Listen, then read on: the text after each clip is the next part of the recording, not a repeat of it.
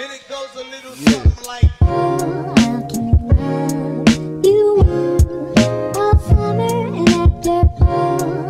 Hey guys, so Natalie went off on Josh in the upcoming episode of Happily Ever After just because he was going back to work. Josh tried talking to Natalie so that they could come to some sort of agreement before he left, but she wasn't having any of it. Natalie made it clear that because they slept together, Josh was going to be the father of her future kids. And because of that, he should have already been planning to get married or even gifted her a wedding ring or an engagement ring or something, because I'm sure that's what Natalie expected after they slept together.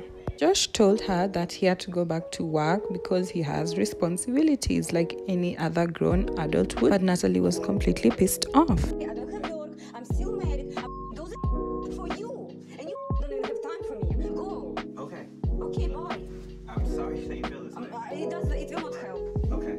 I care for you. It will not gonna, help I'm gonna give you some time to cool off. Natalie also said that if Josh was serious about their relationship, he would have paid for a ticket for her to travel across the world with him on his business trips. So, this makes me wonder if this is what Natalie wanted all along to find a guy who would fund her lavish lifestyle, pay for her trips to beautiful places while he works to support both of them. What do you guys think about Natalie's outburst on Josh? Did the poor guy deserve it, or was Natalie just expecting too much from a one night stand? Let me know in the comment section below. Thank you for watching.